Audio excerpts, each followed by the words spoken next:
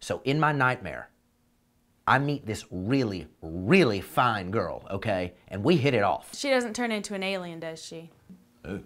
No, I said this was a nightmare, like a bad dream. I'm just saying there's nothing in your dream that's gonna give Joe nightmares, is there? That's a good point, baby. I didn't even think about that. This is not like some sort of horror movie like Saw or Beetlejuice or something. Y'all, I know better than that, please.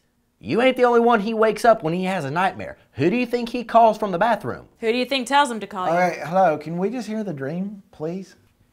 All right, so I meet Hot Girl. We hit it off. We kiss like once. She gives me her number. Okay, the order's a little backwards, but okay, go ahead. I go home, walk in the front door, and guess who's standing there? A smoking hot girl who happens to be my wife. Whoa, and you just cheated on her buzz. I know, and I felt awful. Well, that's good that you felt awful. Wow. Yeah, but then I woke up, I felt terrible, and I cannot shake this feeling.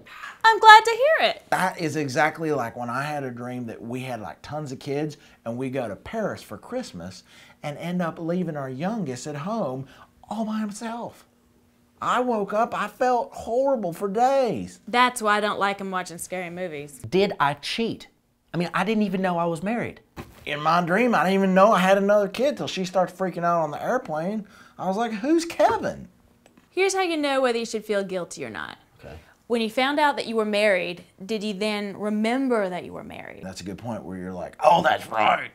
I'm married. Yeah, because that would be cheating, because then deep down you knew you were married. Yeah, but if you were like, wait, wait, wait, wait, wait, wait, I'm married? Then I feel like, you know, in dream morality, you kind of get a pass. Okay, this is good because it is definitely the second one. I had no clue that I was married. Well, that's good. See, you're not a cheater. Boom. but I still can't shake this feeling. Guilt. No, it's more like panic. Why panic? Y'all, my wife in this dream is seriously smoking perfect. You're worried she's gonna find out that you cheated on her, and then you're gonna have to admit to her you didn't even know you were married to her in the first place. I'm scared I'm gonna lose her. Hey y'all, make our dreams come true and come talk to us on Twitter. But hey, no scary stuff. Like links to things that jump out at you, I hate those. If you just want to be told when we put up a new video, you can always just subscribe at this link right here. Yeah, you can.